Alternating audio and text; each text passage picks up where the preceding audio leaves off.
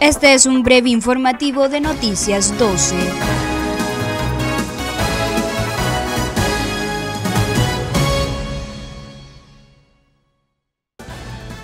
El Consejo Supremo Electoral convoca oficialmente a las elecciones municipales 2022.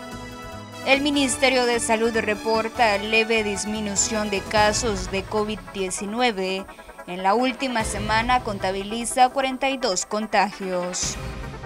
Nicaragua apunta a convertirse en un país agroindustrial.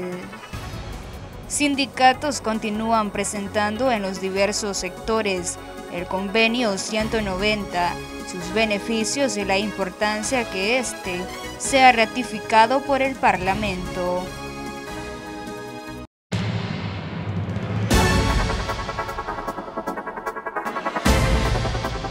Espere la ampliación de estas y otras informaciones a las 6 de la tarde.